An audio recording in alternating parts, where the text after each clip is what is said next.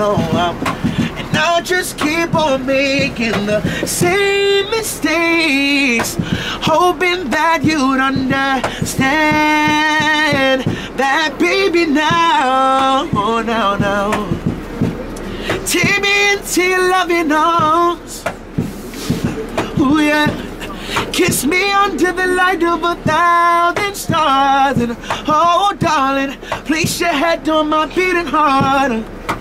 I'm thinking out loud. Maybe we found love right where we are. Or maybe we found love right where we are. And we found love right where we are. That's crazy. I thought we'd have been moving by now. But uh, good evening, everybody. My name is John. Thank you for listening to me. I come out here to invest money towards my music and my future and my newly acquired daughter. Uh, if you guys would like to make an investment, all donations are greatly appreciated. Our blessings. Either way, have a great night. I'm gonna get into this next song. Um, we'll kick some old school out uh, for you guys. If you know the words, sing along. Safe space. We go. I don't love her. Try to tell myself, you can see it in my eyes. So don't deny her. I can't Hey viewers, no it's James Kalm, your half-assed report of the guy on the bike. And it is starting to snow here on the Lower East Side. But we're gonna look at some art and we're gonna run in here to the front room gallery.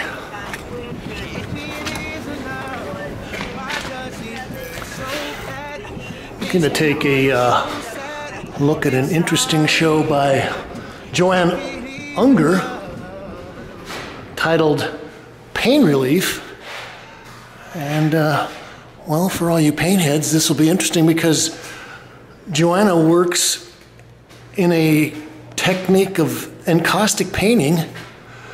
And, uh, well, I think this show is interestingly titled Pain Relief because a lot of the, uh, and we'll have to get up here a little closer and look at some of these the little silhouettes, the images that you see here are packages of various kinds of products that relieve pain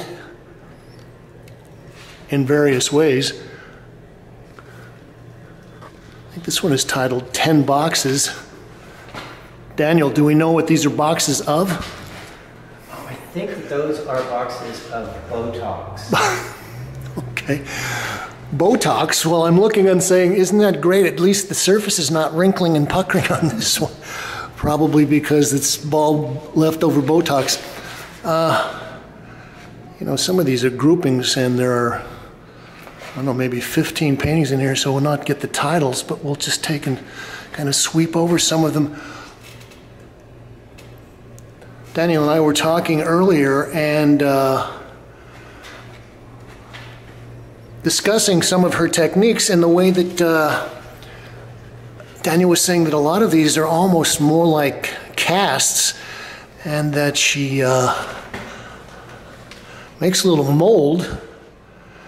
And I guess maybe she's got starts out with a board backing, and then uh, through some kind of a process of pouring and does she actually do some painting on these as well as she as she starts to pour the the pigment on there or is all the color contained within the liquid wax that she pours in? Do we know? She does some painting on the boxes, okay. But, but she does that before anything else. so if you actually look in here you can see where this is kind of like a little milk carton. There's a little triangle top there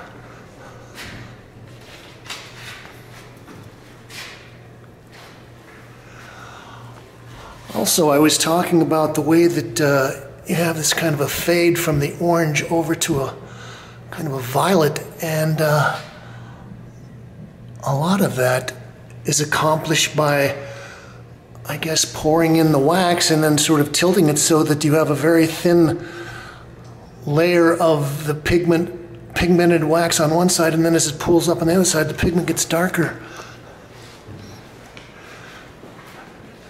Is one of the large pieces. This is Johnnie Walker Red.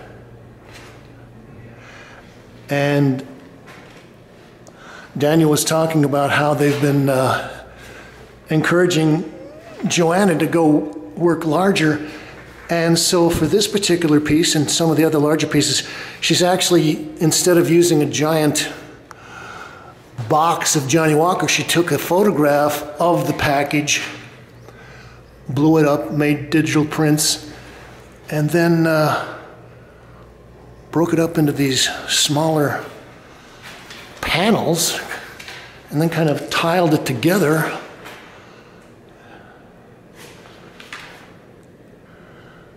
So this piece is titled, oh, it's actually Johnnie Walker Black, 2018, wax, board, paint, and pigment. She doesn't even mention the fact she's got uh, digital prints in there. This is 59 by 48 inches. And uh, yeah, well, look at the edge. It's kind of interesting. Also, you can see where uh, some of the little panels, you know, parts of them are thicker and thinner, and it's nice the way that uh, you get a contrast of the three dimensional layers when you've got them against the wall like that. Okay, we're gonna look at a couple of other larger pieces. It's titled Five Tower Bases 2018 Wax Board Paint and Pigments. It's 23 by 20. I kind of uh, enjoy the the way that these forms, the boxes, kind of look like they're sinking into some kind of colored fluids. I think this one is titled Ubi Modern Wax Board Paint Pigment, and this is 17 by 17. There's another one of the larger pieces. It's titled Modern Moose 2019 Wax Board Paint Pigments.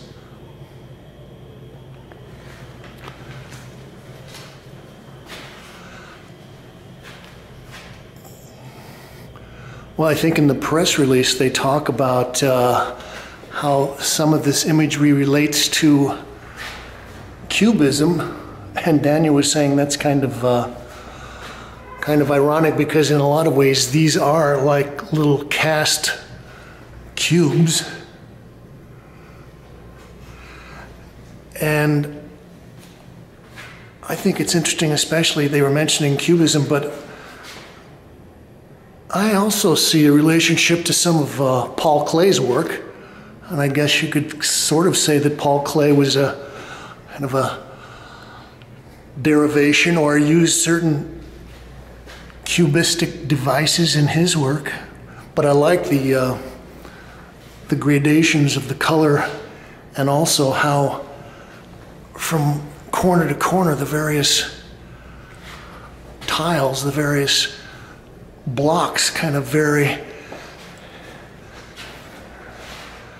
As I said, we've got a lot of pieces here, so I'm not going to give you the titles, but we'll take a close up look at some of them, and you can almost, uh, well, use your imagination and think about what kind of packaging packaging this looks like.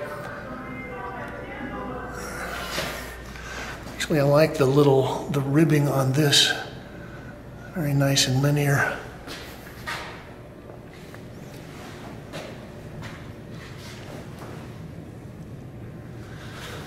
And I think also that it's not just like analgesics, but uh, various other products that might help to relieve, well, the misery, the suffering of life. So that might include like we're looking at the Botox, but also uh, chocolate.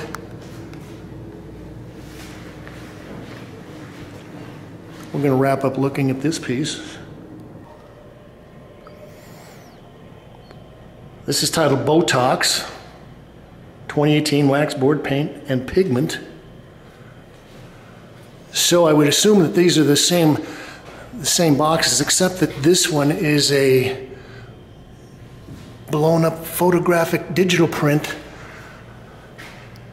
that is then has the, uh, the encaustic worked in over the top.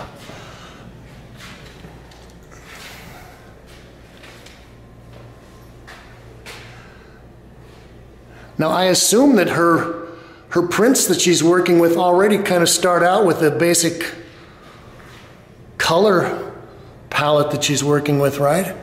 Seems like she's kind of starting out with the greens and the, the oranges, and then uh, I guess you could layer it and get transparent planes of color over the top of that. Uh, we were also talking about the fact, so if you're painters out there and you find that you want to maybe delve into some experiments with encaustic, uh, some of this stuff can be very, very toxic.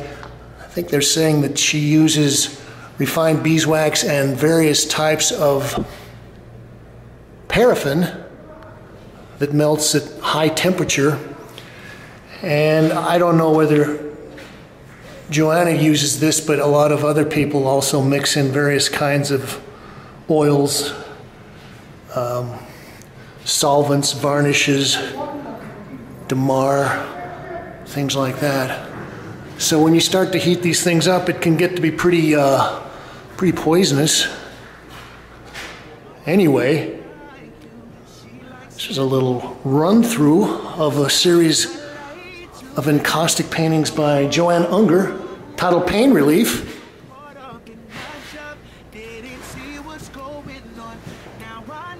Here at Front Room Gallery.